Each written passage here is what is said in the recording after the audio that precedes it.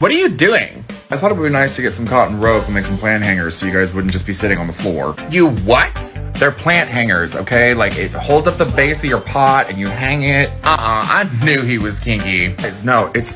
You are not hanging me from the ceiling. Oh, no, not you. You're too heavy to hang from the ceiling.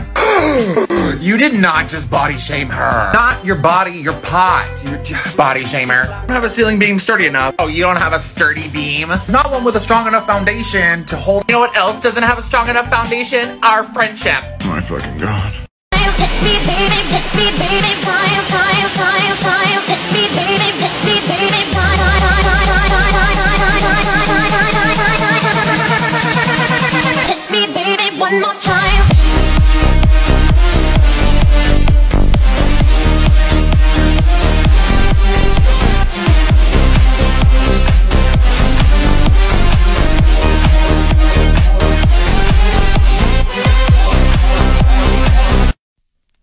Monday morning. I'm about to attack this macrame hanger and replace it with a potted plant. You guys on my last live helped me decide where to put it to cover this ugly thermostat because I live in an old house with baseboard heat. Ready? This is the planter. I have two of them. It's from West Elm, but one's going right here. Hard one handed, but when I'm hanging things, I put a piece of tape on the back and I mark where the holes are now I know exactly where I need to drill my holes. And if you're not hitting a stud, put an anchor in.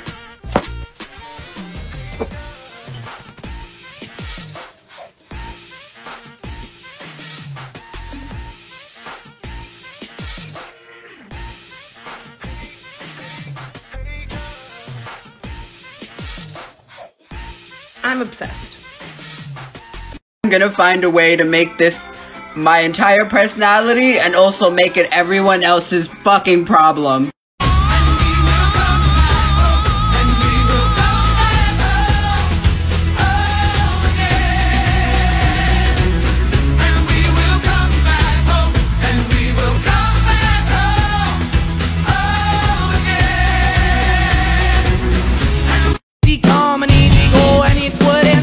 Anytime I bleed, you let me go. Yeah, anytime I feel, you got me. No, anytime I see, you let me know. But the plan and see, just let me go. I'm on my knees.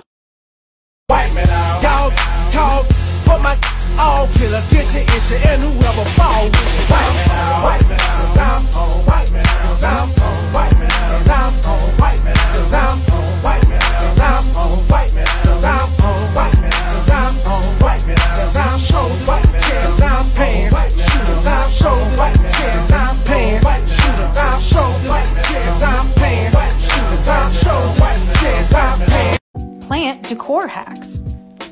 Stop buying expensive plant stands when you can buy these stools at IKEA for $6. Uh huh, you're welcome.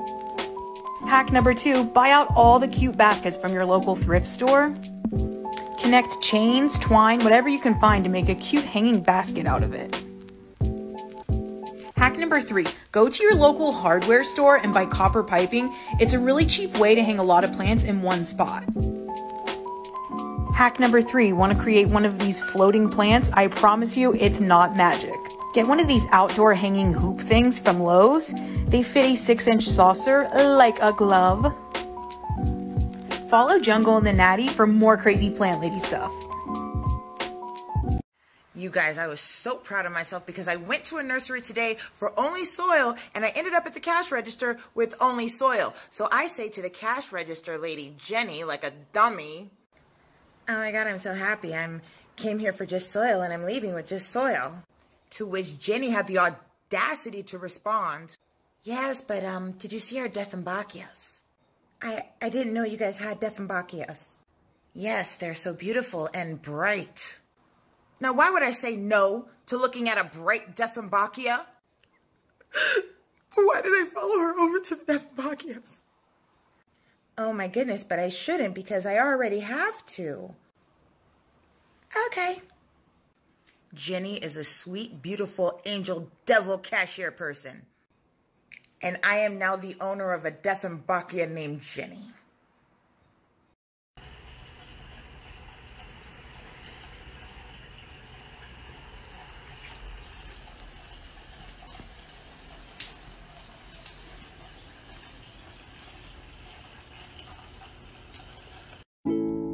So this is our mature monstera. She's about 20 years old.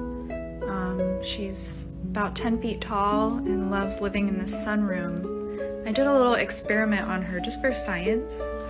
Um, she has these very long aerial roots and I took some of the longest ones and stuck them in water um, because in their natural habitat they're often found next to a body of water with their aerial roots um, just dipped in there. I would say it was a success. Check out these roots. Uh, these roots have been just hanging off this plant for years and haven't changed. Um, and they've really adapted to the water.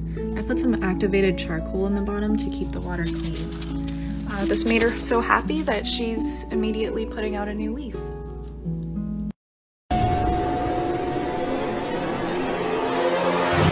Come on, let's go outside. Go outside for what? We're gonna fight.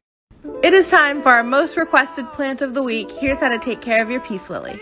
Not only are these guys tolerant of low light, but they love it, so keep them away from windows and make sure you give them lots of water. I like to water when the top layer of soil dries out, and because they love so much water, it's super important to have good drainage. Always make sure to chop off dead flowers, and they're super dramatic, so if you wake up one day and your peace lily looks like this, don't worry, she's probably just thirsty. Your suck boy, he'll shriek like a dog toy can't absorb it. Water just sits on top, he cannot drink it up. Hydrophobic. When the sky comes falling, even the sun don't shine. I got faith in you and I, so put your pretty little hand in.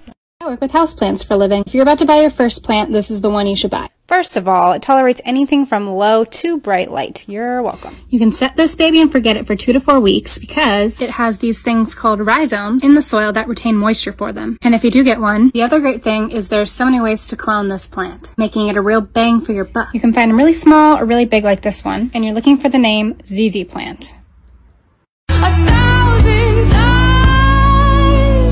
I've got no roots, but my home was never on the ground. I've got no roots, but my home was never on the ground. I've got no roots. I've got no roots. If you keep watering your plant, but it doesn't seem like the soil is absorbing anything, you probably have compacted soil. Here's how to fix it. Telltale signs of compacted soil is a super hard to break apart first layer, water just sitting on the surface, or water draining through it, but the pot doesn't get any heavier. My favorite method to fix it is stabbing with a chopstick to break up that soil. A few squeezes on a smaller pot also does the exact same thing. If none of those things work, it's time to lift that plant out and break it apart manually. And of course, if none of those things work, it's time to repot. You'll know you fixed the problem if the pot is super heavy after you water. Please don't pet me. No petting, thank you. I don't want to be petted. Do not pet. Uh-uh. You can go pet your mom or something. No, no, no petting, no petting. Get your petty paws away from me. I breathe in, I love you. I breathe out, I love you. I breathe in, I love you. I breathe. More unhelpful advice from the plant Facebook groups. Question. Picked up my first Monstera Rhaphidophora today. Tips, tricks, and photos of yours would be appreciated. My favorite answers. I want one. Oh my god, I bought one that died within a week. I have one too, but Rhaphidophora tetrasperma is not a monstera. Someone responds. Their common name is mini monstera. Even though they're not technically the same, plant names are weird. And the last response to that one, it is not a monstera. Stop calling it that.